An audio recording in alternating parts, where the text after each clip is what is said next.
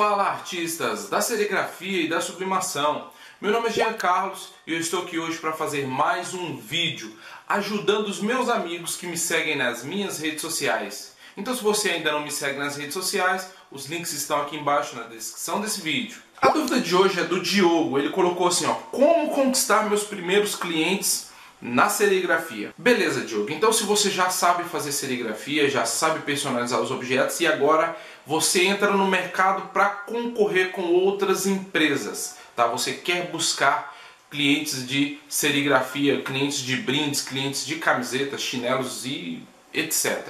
Tá? O que eu te indico para começar é preparar um mostruário. Então você vai ter que gastar uma grana, desembolsar um dinheiro e comprar camiseta, comprar chinelo, comprar caneca, comprar copo e fazer um mostruário.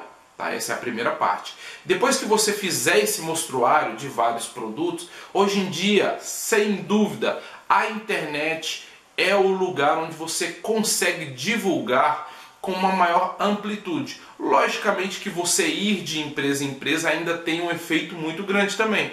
Mas vamos lá, volta aqui.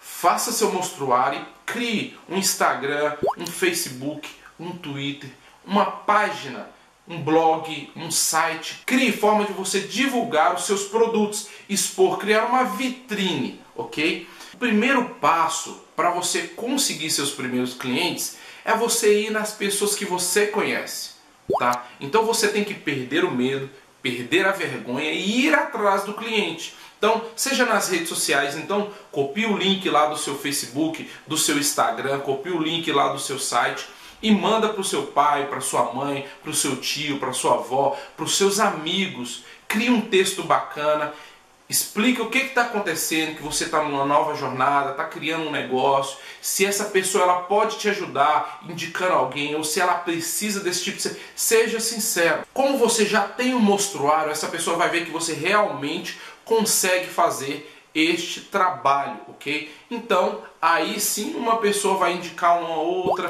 que vai indicar uma outra e os primeiros clientes começam a pingar. Além disso, você também precisa, tá? arregaçar as mangas, como dizem por aí, ok? E ir atrás dos clientes de uma forma mais efetiva, tá? Efetiva. Seja fazendo ligações, seja indo na venda da esquina, seja indo no supermercado, na distribuidora de gás, na distribuidora de bebidas, vai atrás do seu cliente. Logicamente que os primeiros clientes, as pessoas têm desconfiança. Ah, mas será que esse cara entrega mesmo? Será que esse serviço é bom? Será que isso? Então, o que, que você pode fazer para quebrar essas resistências? Então, se vista adequadamente, tá? Então, não vou lá de chinelo, de short, de boné. Então, se vista adequadamente, personalize o uniforme da sua empresa, faça seu cartão de visita, tá? Um panfleto, um bloquinho de pedido, para que quando você chegar para fazer esse pedido ou para fazer essa, essa, esse orçamento para o seu cliente, ele veja em você alguém que gera confiança naquilo que está se propondo a fazer.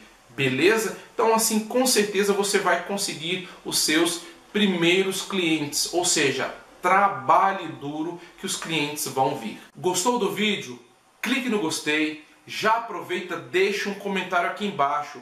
Pode ser uma dúvida, sugestão, elogio, reclamação, deixa um comentário aqui embaixo. E se você ainda não é inscrito no meu canal do YouTube, clica lá no canal do YouTube, se inscreva e aproveite, ative o sininho das notificações para que todas as vezes que eu fizer um novo vídeo você seja notificado. Bom, o vídeo de hoje é sobre isso e até mais!